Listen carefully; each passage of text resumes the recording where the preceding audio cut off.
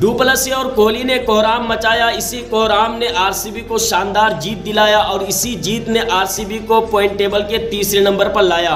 जी हाँ दोस्तों आरसीबी ने एमआई को बुरी तरीके से लगभग चार ओवर रहते हुए शिकस्त दे दिया है। चार ओवर रहते हुए मैच हरा दिया है। आठ विकेट से आरसीबी ने जीत हासिल की है। इस जीत के बाद आरसीबी पॉइंट टेबल में काफ़ी अच्छा नंबर पर आ चुके हैं। वो तीसरे नंबर पर आ चुके हैं। पहले आप पॉइंट टेबल देख लीजिए और पॉइंट टेबल में जान लीजिए कि इस वक्त कौन कितने नंबर पर है। आरआर की टीम एक नंबर पर है। एक मैच खेल करके एक जीते, उनके दो पॉइंट हैं। और उनके जो रन रेट है वो काफ़ी अच्छा है। Three point six zero zero plus में है। एल की टीम दूसरे नंबर पर है, एक मैच खेल करके एक जीते हैं। उनका जो रन रेट है वो है plus two point five zero zero का है। तीसरे नंबर पर आरसीबी की टीम है, एक मैच खेल करके एक जीते हैं plus one point nine eight one का उनका रन रेट है। चौथे नंबर पर जीटी की टीम है, एक मैच खेल करके एक जीते हैं। उनका जो रन रेट है plus zero point five one four का है। पाँचवें नंबर पर पीवी केस की टीम है, उनका जो रन रेट है वो है zero point four two five का, ये भी प्लस में है।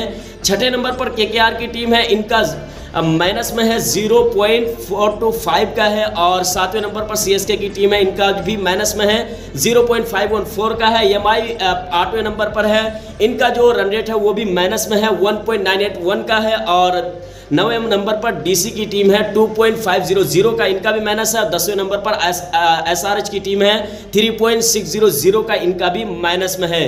तो ये सारी टीमें हैं एक एक मैच खेल करके अभी कौन किस पायदान पर है पॉइंट टेबल में कौन कहाँ है, ये मैंने आप लोगों को बताया। हमारी इस वीडियो को आप लाइक कीजिए चैनल बनाया है तो चैनल को सब्सक्राइब कर लीजिए। इसलिए कि हम मैच से रिलेटेड आपको खबर देते रहते हैं, इसलिए हमारे चैनल को आप सब्सक्राइब ज़रूर कर लीजिए।